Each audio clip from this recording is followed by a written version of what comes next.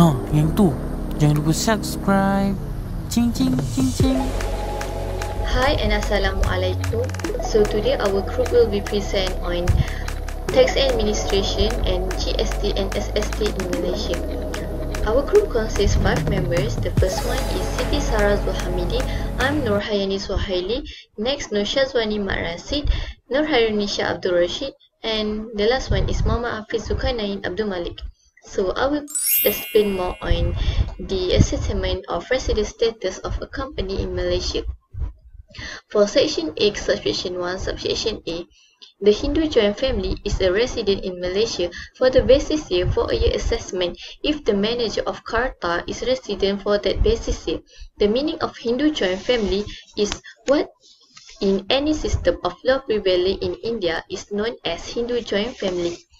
For Section X, Subsection 1, Subsection B, the companies of, of person not being a Hindu joint family is carrying on business is resident in Malaysia for a year of assessment at any time during the basis year the management and control of its business or any of its business are exercised in Malaysia. For Section X, Subsection 1, Subsection C, a any other's company or body of person not being a Hindu joint family is resident in Malaysia for the basis year for a year assessment at any time during the basis year the management are exercised in Malaysia by its director or other controlling authority. For Section X, Subsection 2, uh, Uh, the resident status to continue when established is a company is resident in Malaysia for a given year of assessment. It also considered a resident in Malaysia for its subsequent year of assessment until contrary is proved.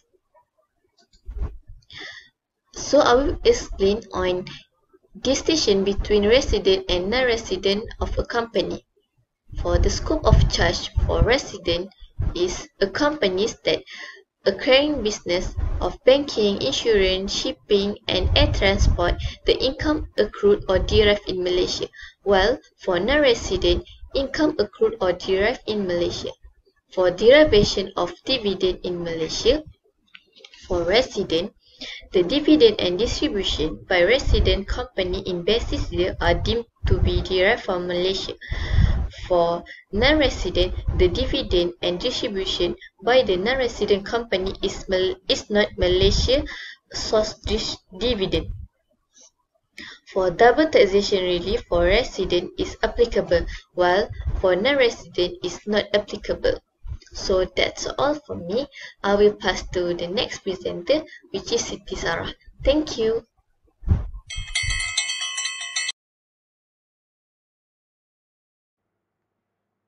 So I am Sarah and I would like to present to you guys the procedure under the self-assessment system or SAS for a company to comply.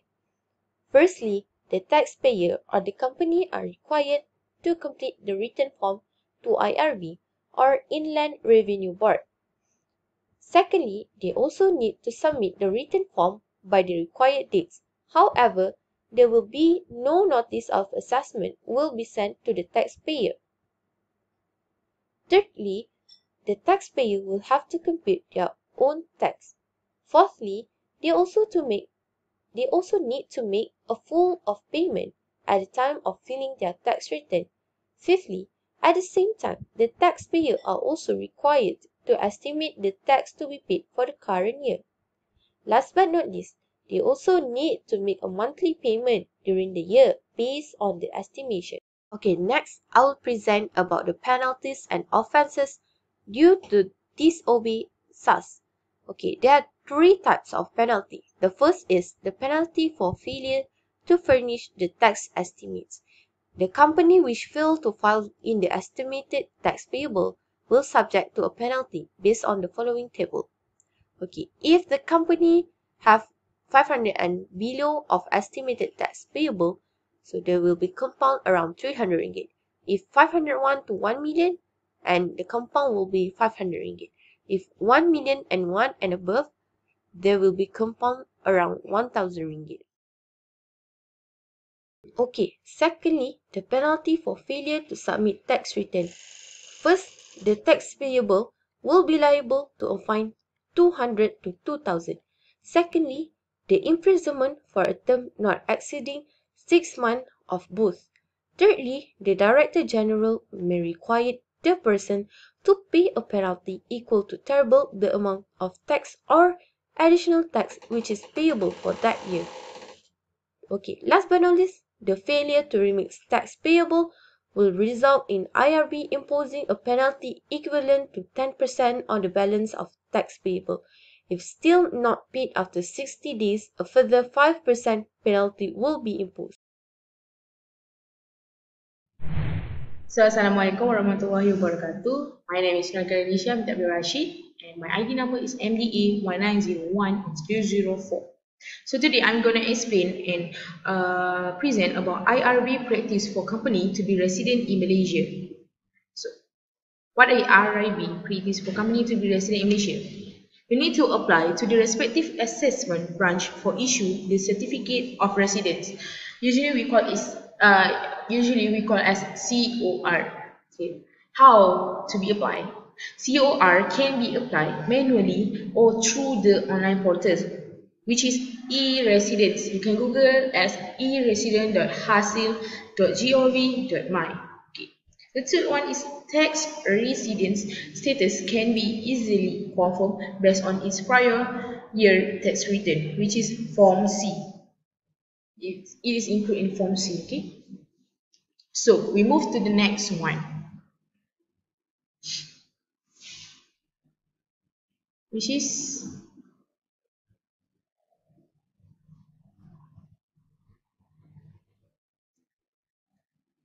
So the next one is what type of tax return used by the company. Uh, mm, okay, the next one is what types. The next one is what types of tax return from used by the company for the submission of income tax. So under SAS, which is self-assessment system, company required to determine and submit in Form CP 204 New company must be submit CP204 within 3 months once started the business. When the company first commenced operation during the first period, the estimate of tax payable must be submitted to IRB within 3 months from the date of commencement of the business and not late, not late than 30 days.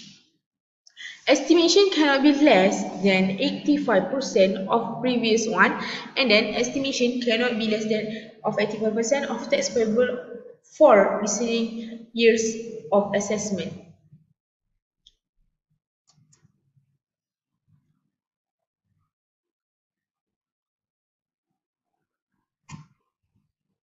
So the next, the second last is SME. Do not do need to submit CP204 within two uh, within first two years of assessment and the SME first commence operation in a year of assessment. Assessment. The SME is not required for furnish an estimate of tax payable or make installment payment for two years. So that's all and then we move to Siti Sarah for explain about procedure uh, under self-assessment system which is SAS be uh, for company to comply. Okay Okay, Bismillahirrahmanirrahim. My name is Nur Shazwani with Imat Rasid. So today I would like to continue the presentation of taxation 2 which is my part is GST and SST in Malaysia. So I will um, I will explain more about the GST in Malaysia and for the SST I will pass to um, Hafiz.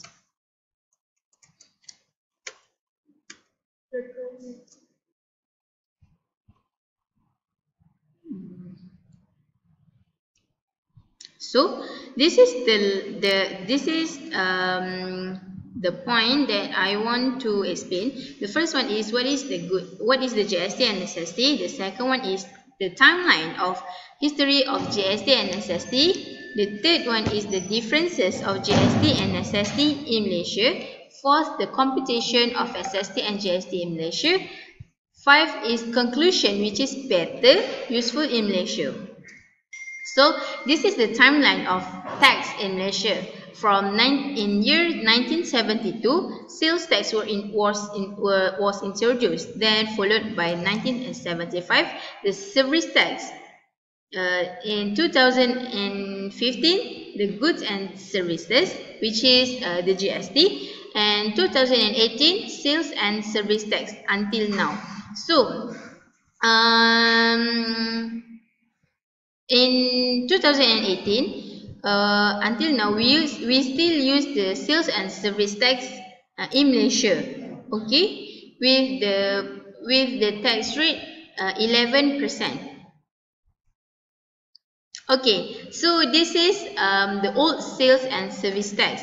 In sales tax, sales tax was introduced on the on the 29th February 1972 as a single-stage consumption tax levied, charged and paid on goods manufactured in Malaysia and imported. So, the example of goods manufactured in Malaysia such as the textiles or um, the cars, uh, the cars which is brand of uh, Proton and imported uh, next one is the service tax. Oh, oh uh, for the sales tax, the, uh, they uh, we use the flat rate of 10%. So next is service tax.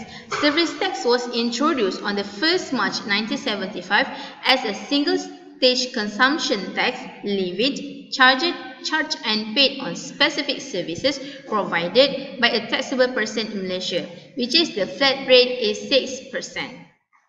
So uh, this one is the the how the implement how the how they implement of uh, the GST and SST in Malaysia. So next is the historical of the goods service goods and service tax. The first one is the concept behind the GST was invented by French French tax official in the 1950s. Another country is known as value added tax. But in Malaysia, we use uh.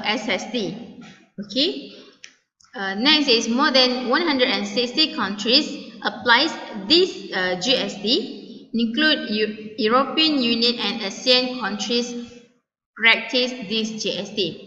Last one, 90% of world population live in countries with uh, VAT, which is a value added tax, and GST, goods and service tax. Next, this is the goods and uh, this is the goods and service tax in Malaysia. First is most of the goods and service such as uh, for the necessities especially will be charged a tax rate of 6% at every stage of the supply chain.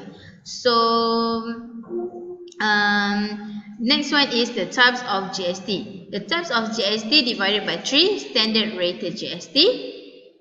And last one is exempted rated GST. So, uh, as you guys know, GST is, uh, as you guys know, GST uh, was, uh, will charge uh, in goods manufactured in Malaysia and imported. So, uh, this is uh, in Malaysia, our tax system involves several different indirect tax, which is first import duty, second export duty, third government sales tax, fourth seventh service tax, and five excise duty. So, first, import duty. Import duty on goods brought in the country. On goods brought in the country, such as uh, uh, we uh, as a Malaysian import Malaysians send the goods to the other countries. So this is we call uh, the import duty goods brought into the country. So next is export duty. Export duty on goods produced for the sales outside the country. Third government sales tax fourth service tax and five is excise duty. So the introduction goods and service tax GST with effect from 1st April 2015. It replaced sales tax and service tax which is um, SST. So sales tax and service tax ceased operation on 31st uh, March 2015. The transitional provisions are provided in GST Act 2014 and the replaced sales tax 1972 and service tax was in year of 1975. The concept of GST is input tax and output tax. So, for your information, GST is also known as value added tax. At each taxable period, input tax is deducted from the output tax. The value added is payable to RMC. So next, this is the scope of charge. The scope of charge uh, means that a GST shall be levied and charged on the taxable supply of goods and services made in the course of furtherance of business in Malaysia by a taxable person. GST is also charged on the importation of goods and services. So, um, um, for example, a taxable supply, a supply a taxable supply is a supply which is a standard rated or zero rated. Exempt and out of the scope supplies are not taxable supplies. Next, GST is to be levied and charged on the value of the supply. Third, GST can only be levied and charged if the business is registered under GST. A business is not liable to be registered if its annual turnover of taxable supplies does not reach the prescribed threshold. So the last one is therefore such businesses cannot charge and collect GST on the supply of goods and services made to their customers. Nevertheless, businesses can apply to be registered voluntarily. So this is the types of GST in Malaysia. First, out of scope supply. The second one, taxable supply. And third is exempt supply. So let's go uh, let's um, go one by one. First is out of scope supply. First provision of goods or services outside the ambit GST Act 2014 it has no GST implication refer to service provided by government investment activities and others so next is taxable supply. So taxable supplies will apply to taxable supply which is zero rated or uh, zero percent or six percent. Last one is exempt supply. What is exempt supply? The supply goods and services that are exempt from the imposition of GST. The notable example like uh, interest income and medical uh, or education services. So um, the overview of GST surplus model. First standard rated, second zero rated, third is exempt duty. So this is uh, the example for the standard rated GST at 6%. It will in, it will um, incur uh, for manufacturer, wholesaler, retailer and we as a consumer. Okay, let's let's uh, let's take a look for the manufacturer. The manufacturer claims back the GST, but the wholesaler claims back the GST from the uh, claims back the GST. The retailer also claim back the GST, but the consumer pays the six percent GST only. Okay, that's um, the the flow for the standard rate of GST. So, GST in Malaysia, um, this is the manufacturing, retailer and customer. So, when the manufacturing go to the retailer, this, we, this is we call the business purchase. Also, the tax invoice GST will charge at the 6%. But a retailer go to the customer, this, this is we call as supply of goods services. But uh, when the um, when the retailer when the retailer provide the sub, when the when the retailer provides the goods and services to the customer, it will charge also the tax invoice six at six percent. From manufacturing to retailer, uh, we call as input tax. Retailer to customer, we call as output tax.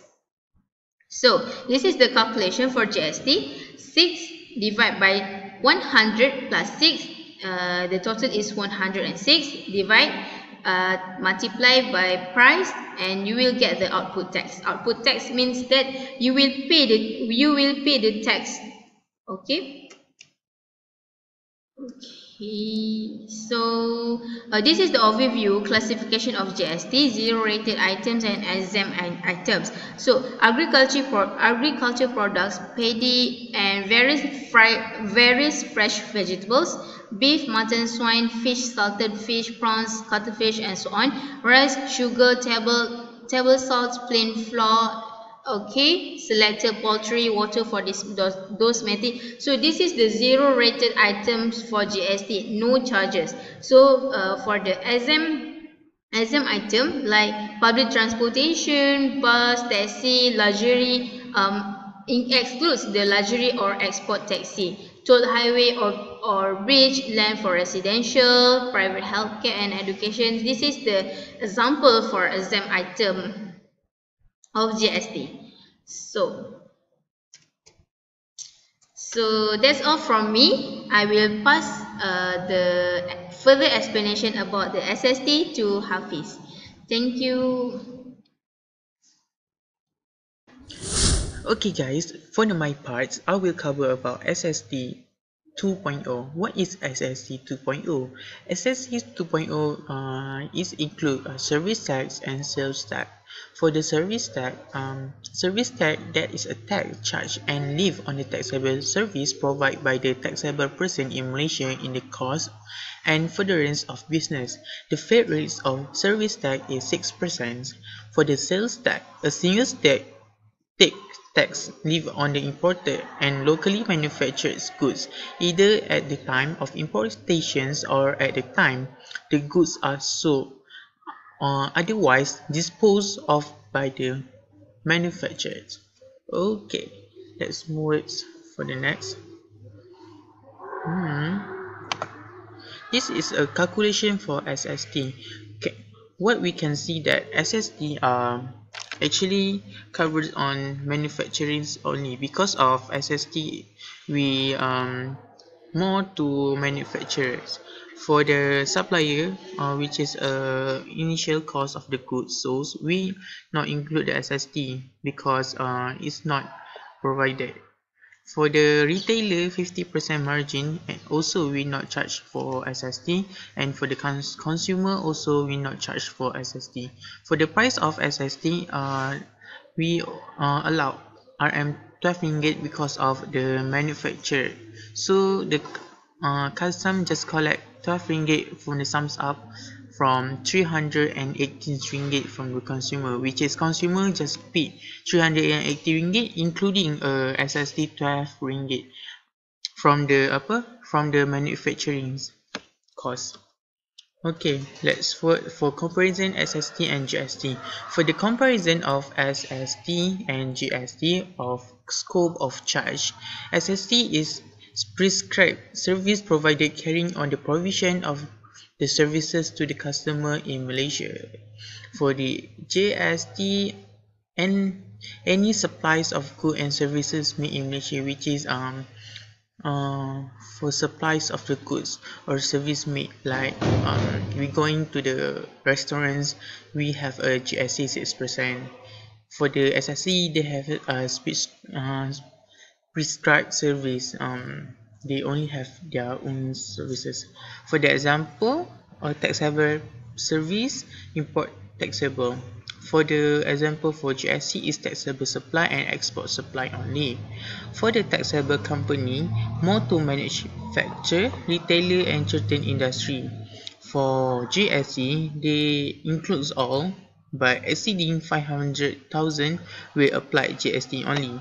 For uh, below 500,000 uh, they not apply for GST for the GST 6% okay?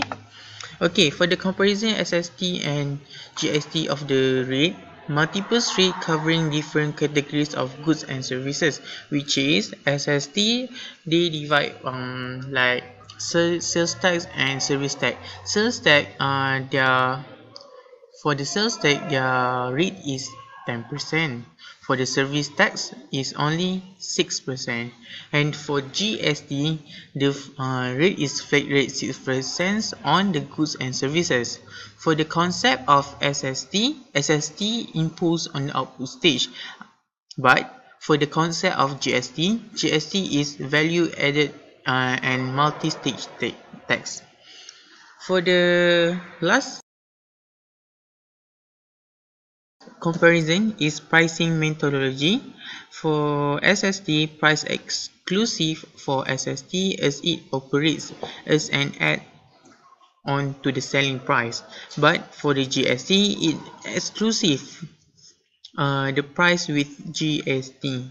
The lastly, for the comparison for the cost between SST and GST, that we can see that at the SST here, they just cost only 100 ringgit and GST only uh, same 100 uh, 100 ringgit.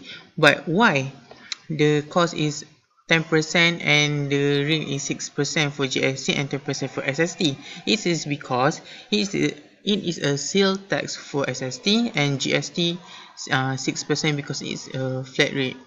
For the second one is 20% margin. It seems like um, GST but they have added 6% uh, of GST which is 7 and 93 cents.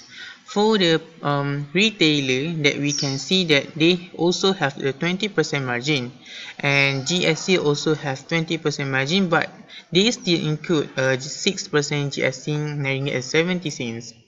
For the last for consumer, we can sum up we can sum up that um the total is uh 158 ringgit and 40 cent and uh, for the GST is 171 ringgit and 49 cents.